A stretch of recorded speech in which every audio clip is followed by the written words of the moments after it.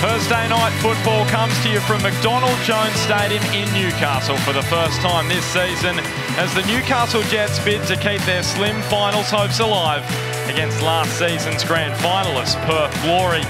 And the Jets and Glory are two sides who haven't had a whole lot to cheer about this season, but it's not just their record to date which is similar. Both clubs underwent off-season upheaval. Budget constraints meant the Jets were unable to acquire any imports while Perth lost their three highest goal scorers from the previous campaign in Sam Kerr, Rachel Hill and Alyssa Mautz. Andrews angling her run. Now with Crystal Thomas picking up the scraps after Newcastle do enough defensively. Hannah Brewer is going to put it over the uh, chalk for another glory corner. There's been a few of these,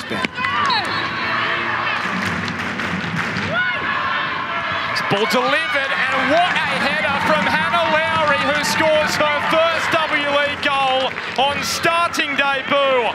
A stunning header into the top corner. What power and precision. 1-0 to the visitors. They have a lead for the first time this season. Well, Crystal Thomas hits a really flat corner. Terrific delivery. The Jets marking in a zone and Hannah Lowry not picked up by that zone, and she crunches the header. What a fantastic goal. Twice this week. There's the run and confidence all of a sudden from Morgan Andrews. And now Hannah Lowry. Hannah Lowry unleashing on the left boot. Well, how many games has she played? It's ridiculous. This, this is, is a fifth. This is her fifth match. Starting debut. Whack. Rushing forward. Rolling wide to Tamplin. Decent ball to Lauren Allen. This is better build-up from the Jets. Probably their best passage of attacking football all first half. And it ends with a strike from Tara Andrews. But it was better from Newcastle. Yeah, good build-up. They just got a little bit, I don't know, nervous at the end. The, the momentum of the attack stopped. Perth backed right off. From right? was with Glory in 16 17 season where they made the grand final. Now it falls for Thomas. Neat skills here from the American. Taking it wide, it is a tough angle now. And is it a penalty? A penalty against Tess Tamplin, who looks bemused. And to be honest, it was a penalty she really didn't have to give away because Thomas was heading away from goal. But was there contact? I think it was contact. I think there was accidental maybe it's late lack of concentration. Thomas has been difficult because she, if you clip the if you clip the player there, accidentally or not, the ref has to give a penalty.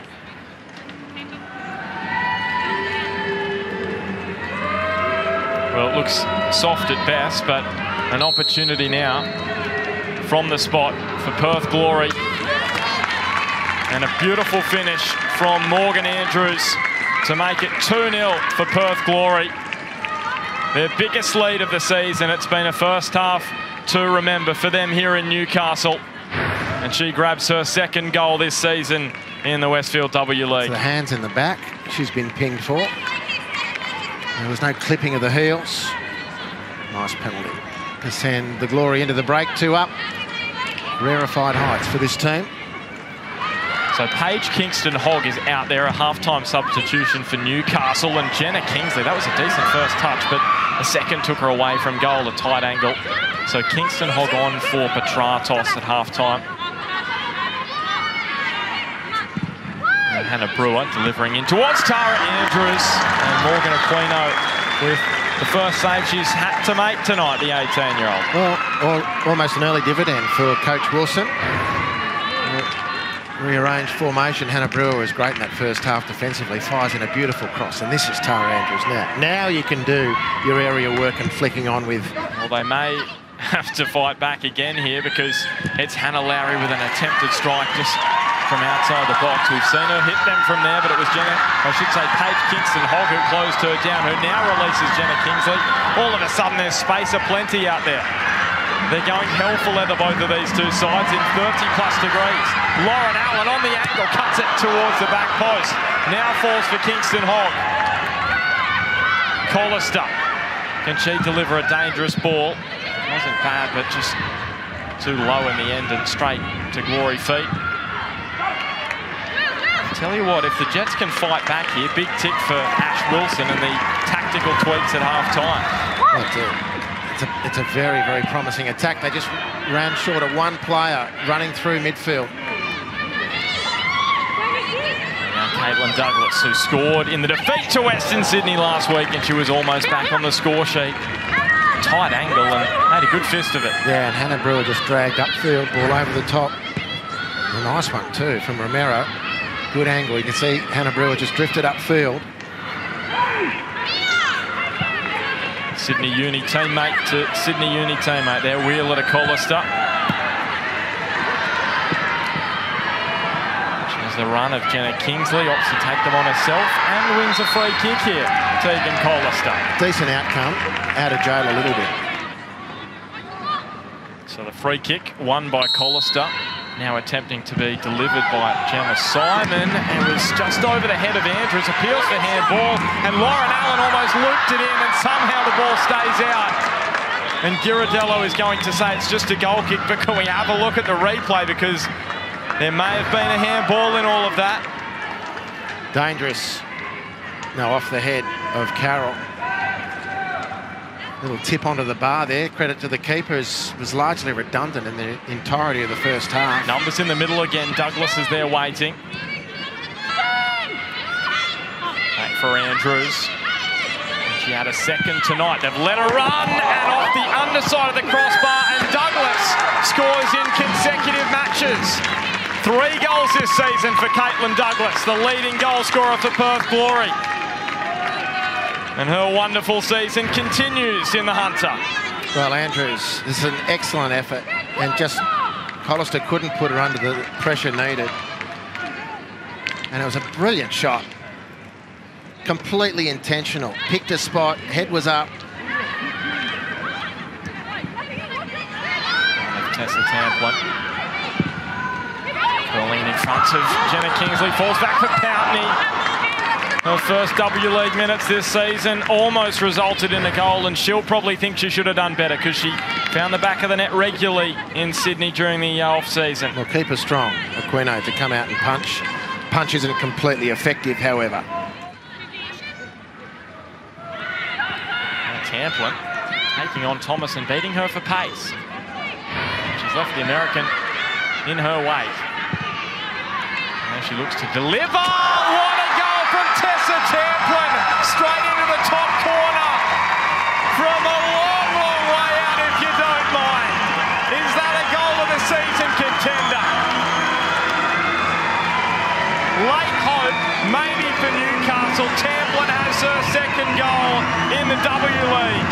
Oh. Well, might sound silly to say, but the most impressive part of this was the space she'd made, she worked for with positivity. I, I suspect this is probably more a cross than a shot. I'm looking, there's a player in the centre. Oh, I've missed her. Hang on a minute. Woohoo! And that's the celebration. Well, deserves a goal. Has had a really strong season.